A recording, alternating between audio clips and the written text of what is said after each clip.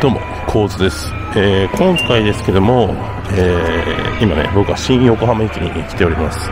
えー今日はアルビレックス新潟横浜 F・ マリノスの試合ということで、えー日産スタジアムで行われる、えー今季最後のアウェー戦かつ、まあ、関東アウェーでもあるというふうなところで、えー来てます。はい。えーまあ、アラマリノスはですね、今日優勝があかかってる優勝争い、えーを脱落するか、うん、とどまるかっていうところと、まあ、新潟は、えー9位争いに、えー踏みとどまるかと、まあ、両方、まあ、重要な戦いであるというふうなところなんですけれども、えーキックオフは7時からと。で、今ね、えー3時ぐらいなんですね。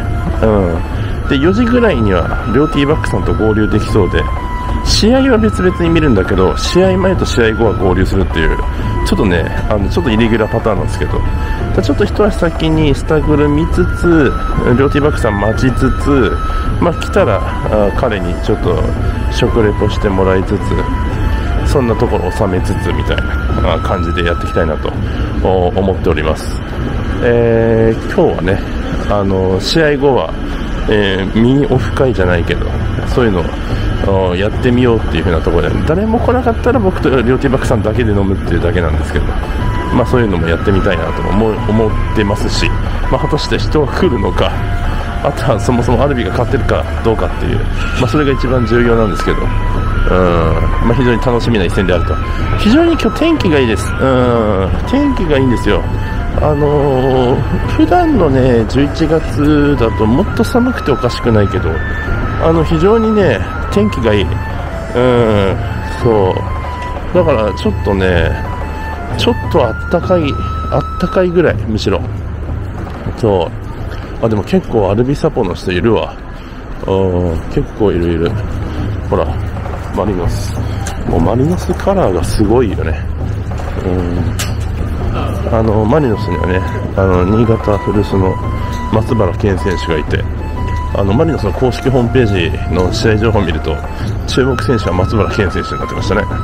うん。で、今日、マリノスが引き分けか負けで、ヴィッセルが勝っちゃうと、もう残り1節残してヴィッセルの優勝が決まると。うん。だから、新潟が勝って、神戸も負けると、次節持ち越しと、いうところなんで、まあ、非常にあの優勝争い的にも面白いし、まあ、逆に新潟が今回負けて、明日、明日今日か、あの川崎は今日鹿島とやるので、鹿島に川崎が勝っちゃうと、あのもう勝ち点差6まで開くので、あの9位はもう無理と、そうまあ、そういうようなところもありますので、まあ、非常に今日かなりあのフライデーナイト J リーグ近 J なんですけども、うん、結構ね、え注目の試合が組まれてる、えー感じですね。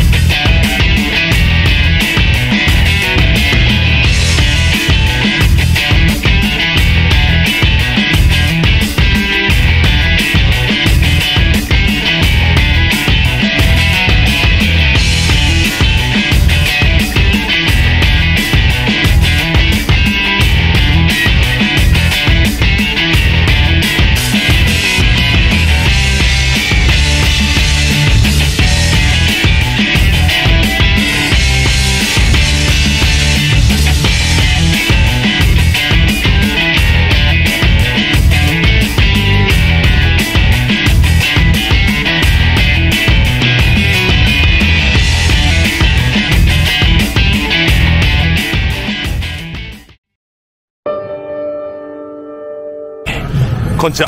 こんにちは。今着きました。今着きましたね。俺もうお腹いっぱいになっちゃったからさ。まあ、早くから来てたみたいな。でだからあのジョディ・マキさんがな何がいい何がいいかをずっと撮るやどつやるわこどこ行った？ここと俺ねあるじゃん。あの奥は行ってないまだでもつ煮と唐揚げとラム串と まあまあ食ってるあのモンブラン抹茶みたいなやそんなに。つでももうめっちゃ腹いっぱいだよ俺。昨日髪切ってきたんでね。なかなか刈り上げてますよ。このおでこのラインね。熱心な両キーバックファンいるかありがとうございます本当に。ありがとうございます。なんかさこっちの方が良くない？いやいいだって自分の好きな画角で撮れるからいいんだ。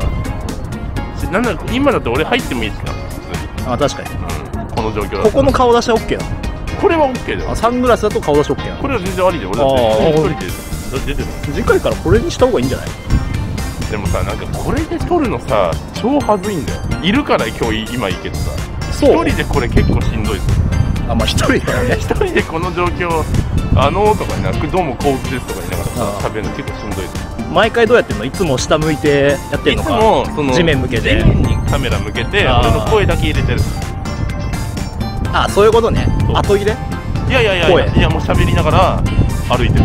あじゃあ変わんなくない だ変わんないんだけどでもこれはさなんか変じゃん。いや自分で言うのもなんだけどさ変変まあまあまあ。社長じゃん。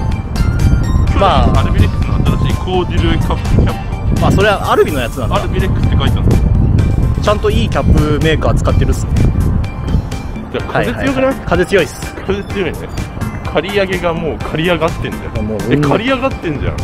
綺麗でしょ。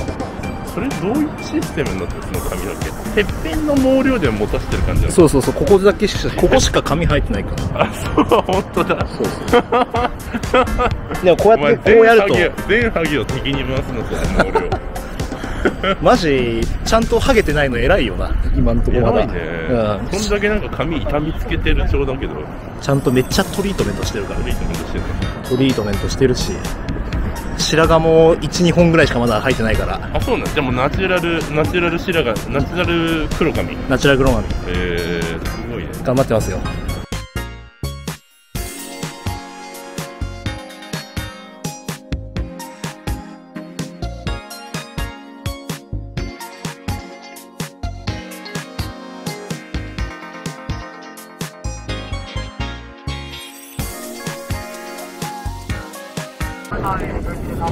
らいました。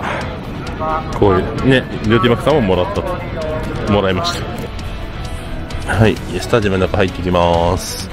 今日はね1階の5列目とかに座るので割と近いはず。すげえ近っ。近いじゃん。いいですね。アルビサバも結構来てるっぽい。まだ1時間半前なんでまだかもしんないけどいいっすね。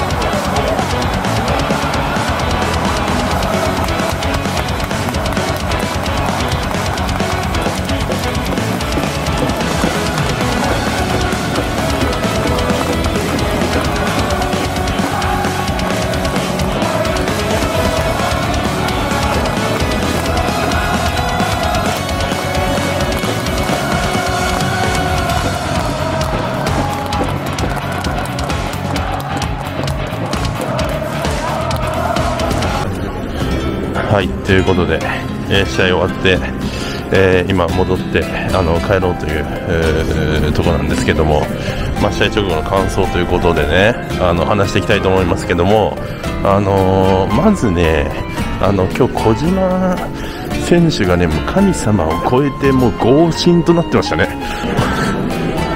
もう小島がさ15点止めたの。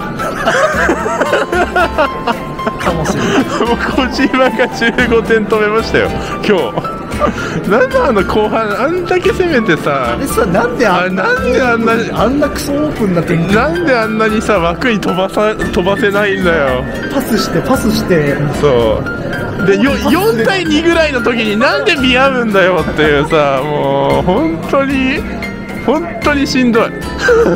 でもね、結構俺、新潟史上一番楽しかった。い。やいやいやいや試合は試合はめっちゃ良かった。あのもう質対質だよ。マジでよかった。もう組織対個みたいなさもうスタイルは同じだしさ試合自体は多分もう今年の J リーグのベストマッチと言ってもいいぐらい。でもいいよな、あれな。もうだって日本でこのクオリティの試合見えんのっていうレベル。こんなサッカーできるようになったんだだし、そう、だし、あの、あれじゃん、マリノスのさ、フォワードたちがさ、うんガンガンハイプレスかけに来てるのをさ、まあ、イナス、デンと大輝と藤原と小島だ。ディフェンスラインも素晴らしかった。あれやばいね。マリノスショップでした。しびれたわ。なんで決めないのよ。マジで。勝てたって。